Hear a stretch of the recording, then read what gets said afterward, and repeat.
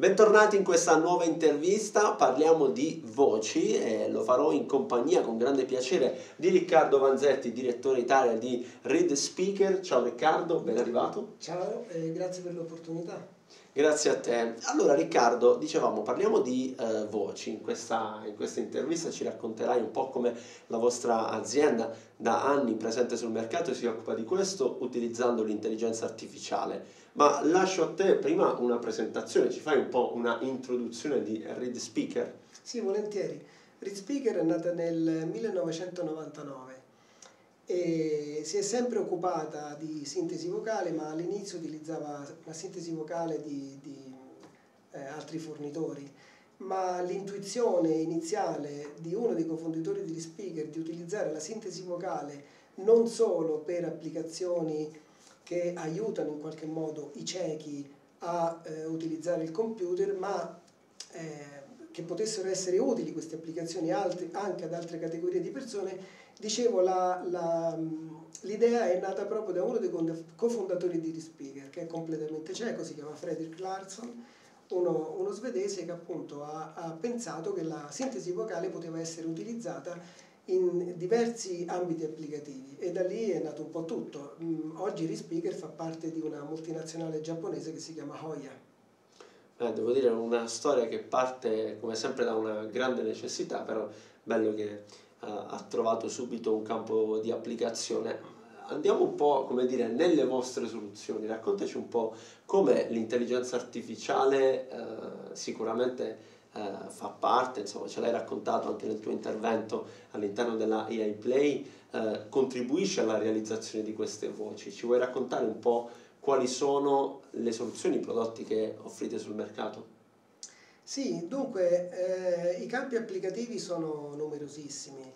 Si va dalla, dai sistemi di accessibilità, quindi diamo voce a delle apparecchiature eh, e anche a dei software, delle applicazioni per cui eh, alcune categorie di utenti beneficiano della sintesi vocale, ma la voce è utilizzata in contesti completamente diversi. Vocalizziamo contenuti testuali su piattaforme e-learning, vocalizziamo articoli di quotidiani online, eh, la voce sintetica utilizzata per i messaggi al pubblico nelle stazioni, eh, sugli autobus, eh, utilizzata per campagne di marketing e anche in quelli che vengono chiamati sistemi conversazionali, quindi dove c'è un'interazione uomo-macchina e dove la sintesi vocale in combinazione con il riconoscimento vocale permette appunto di creare dei sistemi eh, conversazionali.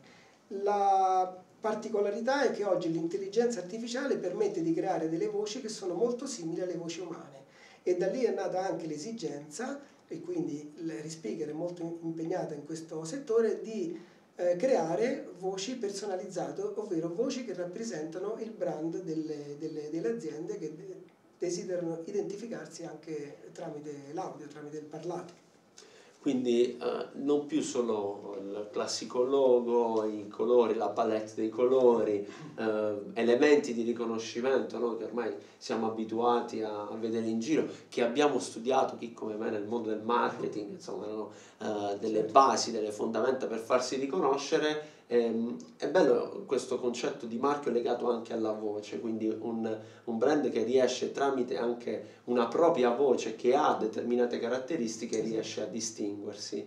E voglio chiederti appunto Riccardo eh, come i clienti, i vostri clienti ecco, stanno utilizzando le vostre soluzioni anche magari con quale eh, impatto eh, economico, quali risultati. Sì, eh, dunque l'intelligenza artificiale, come abbiamo accennato, ha aperto veramente nuove possi possibilità e nuove opportunità di, di business. E i nostri clienti eh, sono perfettamente consapevoli che le soluzioni che utilizzano eh, voci eh, read speaker, quindi voci di altissima qualità espressive, sono al, al top dell'innovazione.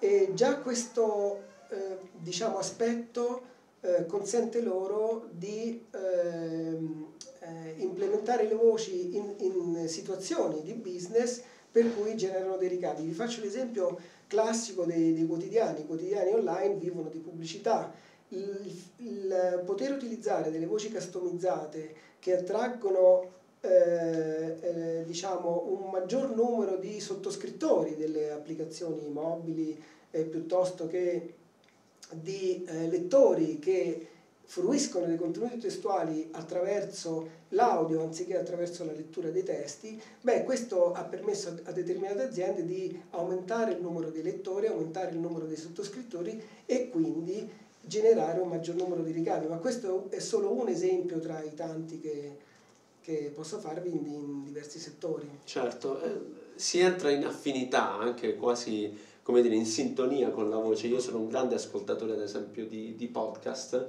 e sono molto affezionato a determinati podcast perché ormai, eh, come dire, eh, chi, chi, racconta quella storia nel podcast è un po' come se fosse diventato un mio amico, lui non lo sa, lei non lo sa, ma in realtà con la sua voce, con quelle caratteristiche riesco a, come dire, uh, avere una sorta di compagnia.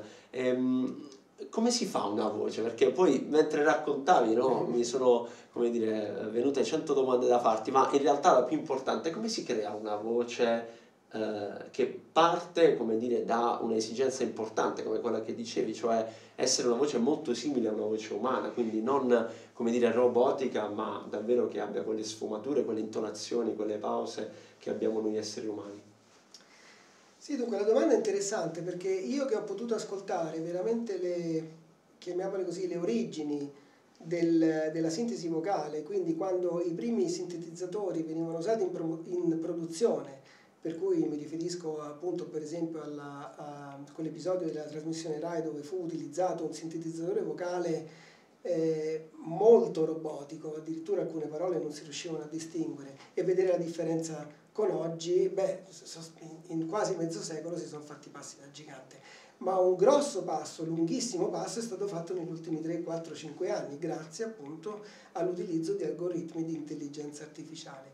E queste voci per, per essere create richiedono, diciamo così, delle competenze umane, quindi la, la, il primo e più importante eh, eh elemento, chiamiamolo così, è il fattore umano cioè quali e quante competenze all'interno dell'azienda vi sono per produrre una voce di alta qualità. La tecnologia è facilmente reperibile sul mercato, o meglio, è reperibile non facilmente, ma è reperibile, è disponibile come certo, disponibile certo. qualsiasi tipo di tecnologia. Ma il fattore umano e i processi, quindi i vari passi per produrre una voce, una voce dall'andare in studio di registrazione, registrare con certi criteri, creare il materiale adatto, per poi arrivare alla fase di sviluppo e all'ultima fase, quella del controllo di qualità, che dura poi nel tempo, anche una voce viene messa in esercizio e noi garantiamo la correzione della pronuncia durante tutta la fase di produzione, quindi se la produzione durerà 10 anni, noi per 10 anni continueremo a correggere e a diminuire il livello di errore che la macchina comunque potrebbe compiere. Wow, wow, c'è davvero un grande lavoro, eh, sappiatelo. E che cosa vi sta, come dire... Uh attirando rispetto a quelle che sono invece le tendenze eh, future. Si parla tantissimo, mai come in questi giorni, in queste settimane, di intelligenza artificiale, in tanti altri ambiti, chiaramente in quello conversazionale, degli, eh, degli LLM, eccetera. Nel vostro ambito invece c'è qualche come dire, novità che state tenendo d'occhio? Che, che si può dire, eh, Riccardo? sì, sì, sì, beh, certe cose ovviamente non, non sono autorizzato a dirle, però allora, diciamo che io credo che questo sia un periodo eh, dove mi sento ancora nell'età pionieristica, cioè l'intelligenza artificiale ha creato un nuovo inizio, diciamo la sintesi vocale 2.0, chiamiamola così. Perché? Perché ha aperto veramente nuove, nuove, nuove possibilità di generare voci altamente espressive eh, se posso dire, eh, sono tantissimi campi dove questa voce potrebbe essere utilizzata, eh, ma credo che oggi ehm, quella che viene chiamata intelligenza artificiale generativa e che eh, per quanto riguarda il nostro settore, cioè la vocalizzazione di testi, eh, sarà un po' il futuro dei prossimi 3-4 anni l'intelligenza artificiale generativa noi stiamo vedendo che sta creando quantità di testi che prima non esistevano e questo materiale testuale eh, o si legge o viene vocalizzato, ma la capacità umana di leggere materiale testuale è sempre la stessa. Se aumenta il materiale testuale generato grazie a questi sistemi, necessariamente dovranno esserci dei sistemi che lo vocalizzino e qui ovviamente entriamo in gioco noi. Entra in gioco Read Speaker. Riccardo, prima di salutarti, uh, se vuoi uh, dare dire, un messaggio ai manager, agli imprenditori, tutti gli iscritti alla AI Play, in generale alla nostra community, di come l'intelligenza artificiale può davvero dargli una mano. Sì, beh, come prima cosa direi a qualsiasi azienda, imprenditore di affidarsi a società, organizzazioni professionali, perché nel campo dell'intelligenza artificiale anche della sintesi vocale vediamo il, il nascere e il morire di una quantità di organizzazioni che eh, propongono per esempio voci o eh, neura, anche neurali senza avere nessun tipo di contratto con l'origine della voce, per esempio con gli speaker, per cui vi sono delle aziende che magari utilizzano inconsapevolmente una voce prodotta da un certo portale e, e, poi scoprono che quella voce non è autorizzata per quel campo applicativo. Quindi la prima cosa è un po' di cautela nel selezionare i fornitori. La seconda cosa è quella di iniziare a pensare effettivamente dal punto di vista del brand vocale. E, e la parte di, diciamo così, di marketing auditiva è stata un po' snobbata negli anni passati, si è, sempre alla, si è sempre pensato alla parte visiva, il marchio io lo guardo, quel marchio lo individuo con un'azienda. Oggi la parte uditiva è importante, per cui eh, suggerirei a tutti gli imprenditori di pensare come il proprio brand potrebbe eh, beneficiare di una personalizzazione, quindi di avere una propria voce per comunicare con, con, con gli utenti, con i consumatori. Certo. Riccardo, io ti ringrazio davvero per questa rapida intervista, ci hai aperto un mondo. Per chi uh, vuole approfondire il tema della voce, l'invito è sempre quello di andare a recuperare su aiplay.it il, il video di Riccardo che ci ha uh, registrato sulle voci appunto generate dall'intelligenza artificiale, come utilizzarle nella propria azienda, soprattutto per identificare il vostro marchio. Grazie Riccardo, alla prossima. Grazie a voi.